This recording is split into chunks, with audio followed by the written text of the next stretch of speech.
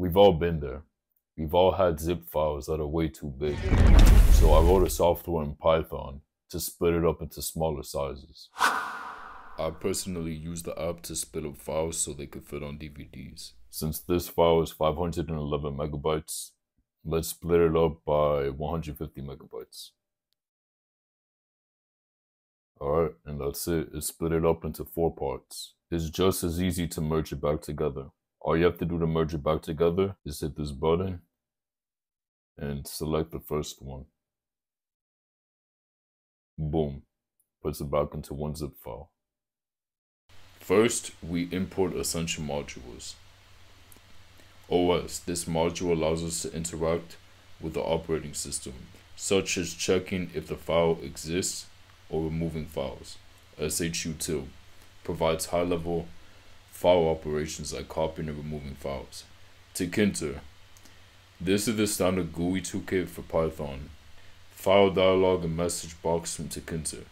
These are specialized modules for opening file dialogs and displaying message boxes to the user. Default split size. So by default, we open up to 4,200 megabytes, but the user is able to change that. Then we get into defining the main application class.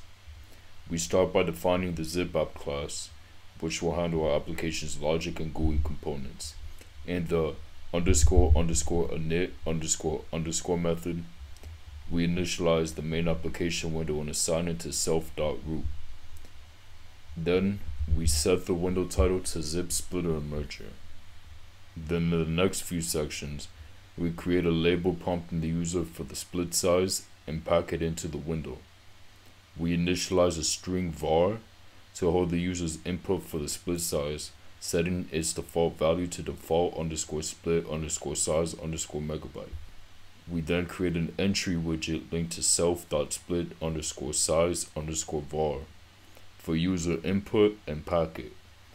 We add buttons for splitting and merging each linked to the respective methods self.split underscore zip and self.merge underscore parts. Finally, we add a label self.progress to display progress messages to the user. In the split underscore zip method, we prompt the user to select a zip file using a file dialog. If no file is selected, the method exits. We retrieve the split size entered by the user and attempt to convert it to an integer. If the input is valid, an error message is displayed, and the method exits. We then calculate the split size in bytes by converting megabytes to bytes. Then we get into splitting the file. Here, we open the selected zip file in binary read mode. We initialize a counter part underscore num to keep track of the part numbers we read chunks of the file equal to the split size. In the loop, we create a file name for each part by appending the part number to the original file name.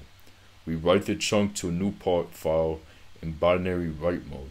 We increment the part number and read the next chunk. We then get into updating progress.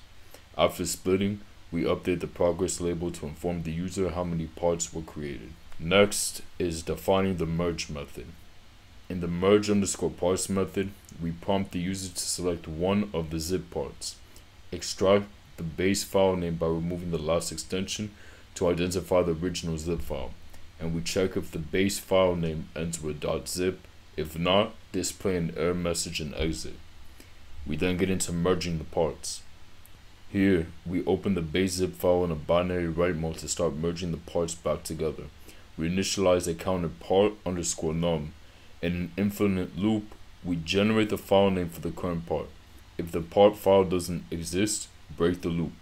Open the part file and copy its contents to the base file. Delete the part file after copying to clean up. And increment the part number. We then get into updating progress after merging.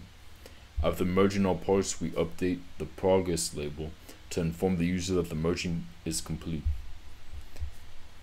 then running the application. Finally, we initialize the main Tkinter window, create an instance of our zip app class passing the root window.